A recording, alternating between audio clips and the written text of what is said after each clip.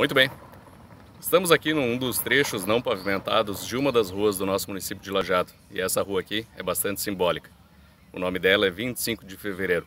É uma das datas comemorativas do nosso município.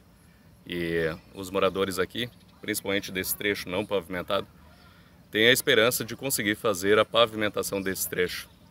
E para auxiliar isso, eu e outros vereadores lançamos mão do projeto de lei número CM número 8. Esse projeto de lei pretende que seja possível que 60 metros lineares de vizinhos, de ambos os lados concordando, seja feita a pavimentação. Hoje, para fazer a pavimentação, é necessário que se tenha 100 metros lineares, 100 metros consecutivos de vizinhos concordando em fazer a pavimentação comunitária. Essa flexibilização é necessária porque existe uma dificuldade muito grande de conseguir esses 100 metros de vizinhos concordando em fazer a pavimentação. O projeto de lei CM número 8 está para votação na sessão da Câmara de Vereadores. A bem da verdade, ele já deveria ter sido votado.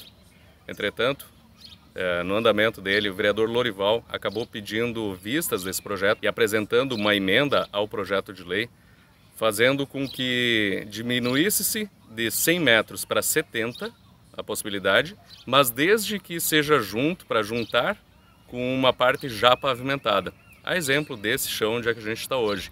Ou seja, só poderia ser reduzido de 100 para 70 metros caso chegasse numa via já pavimentada. E para você entender, a ideia do projeto original é que situações como essa, onde a gente tem não pavimentação durante cinco terrenos, seja possível que esses vizinhos, cinco de cada lado, concordem em fazer a pavimentação comunitária.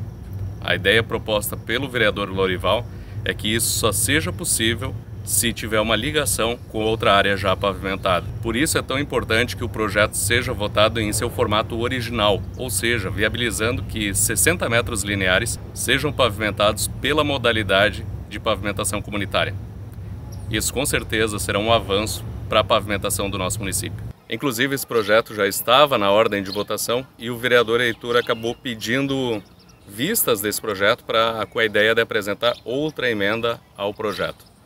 Acredito que o projeto já esteja pronto, já está há bastante tempo sendo discutido na Câmara de Vereadores e a proposta original com certeza é a melhor para a nossa cidade. Eu entendo que a pavimentação deve ser facilitada para os nossos munícipes.